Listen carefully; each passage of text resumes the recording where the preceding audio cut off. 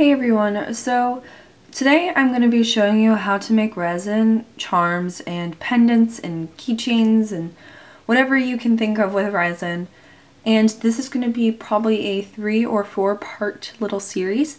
So this video is just going to show you how to pour your resin, mix, stir, use the mold correctly, and how to use food dye and glitter when making resin charms. So let's get started. So the first thing you're going to need is something to stir your resin in and I'm just using these little Dixie cups. You can use plastic cups or whatever you'd like. Um, I'm just using these because I can throw them away easily afterwards and not make a mess. And then you're going to get your resin out. So this is Easy Cast. I bought this at Michael's for $13, but use a coupon. So it comes in two parts. These two. My actual resin has got kind of some sticky stuff on the bottle. So what I like to do is you can either pour in the resin or the hardener first. I found it really doesn't make a difference for me. But um, make sure you store this in a an area where it's not too cold because it will start to harden and well, it won't harden but it'll be harder to mix and you'll have to use a hair dryer to heat it up and that's not fun. So usually how I pour, I just measure using the cap. So I'll pour the resin into the cap and then into the cup.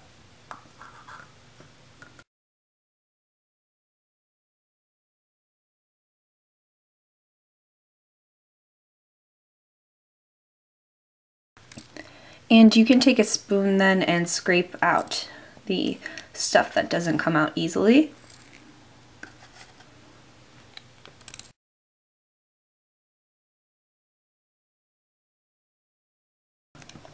And then once you pour the hardener in, you can do the resin.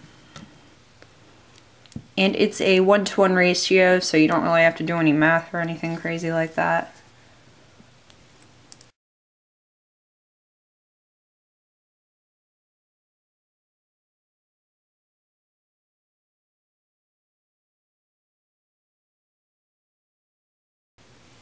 And you'll probably have some residue on your bottles after doing this. Just make sure to wipe them off afterwards or else they'll be really sticky when you handle them later. So I poured both of the mixtures into this cup and I'm using just a plastic spoon and you want to stir these but stir them slowly because if you stir fast air bubbles are going to get in and it's not going to set right. So as you can kind of see, the resin's pretty cloudy now. And you want to get it so it's clear and the two are mixed together very well. So I'm just going to do that now. And it'll take like two or three minutes. Once your resin is properly mixed, it should look something like this. And there might be bubbles and stuff in it. So you can take a straw and blow into the mixture to get rid of some of the bubbles.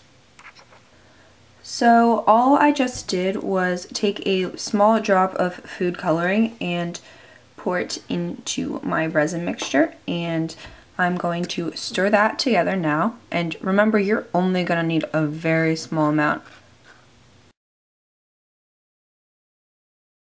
So once you finish stirring in the food dye it should look something like this. And next you're going to be taking some glitter. I'm just using some Janelle Recollections reddish fuchsia colored glitter and you don't need very much but you can pour that in.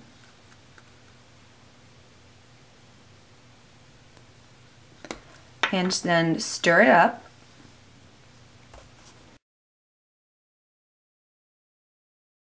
So once you've got that all mixed together it should look something like this. Then you're going to need a mold. I'm just using a Hello Kitty bow, bow mold and I got this from the Jeweled Lizard. Um, I believe she has an Etsy shop and she has her own shop. I highly recommend those molds. I will include a link down below to her store. And then you're just going to pour the resin in until you get to the top.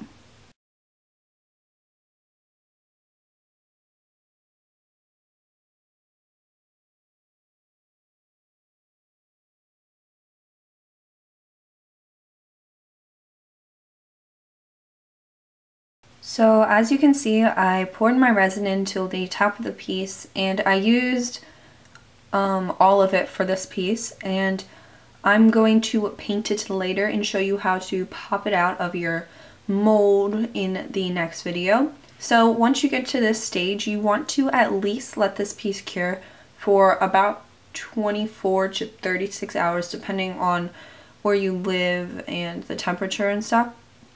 But with molds like this, make sure you put it like between maybe two books that are of the same like height so it dry or yeah it starts to dry e like even because you don't want it to be slanty and then you'd have to sand it all off and that's not fun.